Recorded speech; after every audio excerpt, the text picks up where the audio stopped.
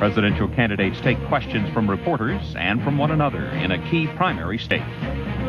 From the Orpheum Theater in downtown Phoenix, here now is the moderator, Judy Woodruff. Thank you for joining us. Tonight, we hope to give voters here in Arizona and all across the nation their best opportunity yet to compare the six Republican candidates for president and their specific views on the issues. Texas Governor George W. Bush, Senator Orrin Hatch, Senator John McCain, who is with us via satellite from Boston, former diplomat Alan Keyes.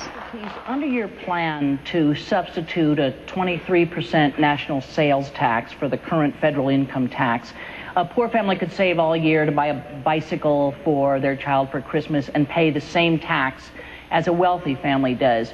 So no matter how many items you set aside and make exempt from sales tax, isn't at the heart of it this kind of tax something that disproportionately hits the poor over the wealthy? Can't possibly be. The present tax system, which allows you to escape taxation if you're wealthy enough to pay accountants and lawyers, is what disproportionately hits the poor and the working middle class people of this country. Under my system, you don't pay taxes until you decide how to spend your own money. And when you take it to the store and decide how to spend it, if you can't afford to be heavily taxed right now, you will confine yourself to those goods that are not taxed, to those goods that are necessities of life. And yes, that's going to mean some sacrifices, but it puts the question of how you develop your wealth base back under your control. You don't have to beg politicians and bureaucrats to get back in control of your own hard-earned dollars. But it also means that if you're a working person, think about it. Before you have put bread in the mouths of your children, before you've put a roof over the head of those children, before you've put a stitch of clothes on their backs today, you pay the government. We're worse off than serfs. Serfs used to pay their masters after they were fed and clothed. We have to pay our master before we're fed and clothed. I think, I think it's a travesty. And I think it's time we end it.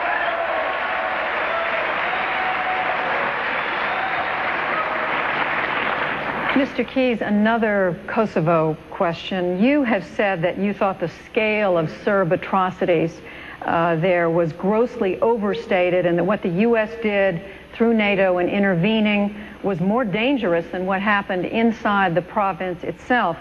My question is there's this new report just out uh, that by a neutral organization that confirms an overwhelming, brutal Serb campaign to drive out a million Albanians from Kosovo. Do you still stand by your view that the U.S. through NATO should have stood by and done nothing? I understand the report. Confirms an intention, ma'am. And, and it's not entirely clear to me we react in foreign policy to intentions. We've got to react to facts. And the facts as they have been established on the ground do not support all the reports that came out in the course of that war, and you and I know it. The Pentagon has said so, others have said so. We have got to be very careful not to lower the threshold of intervention.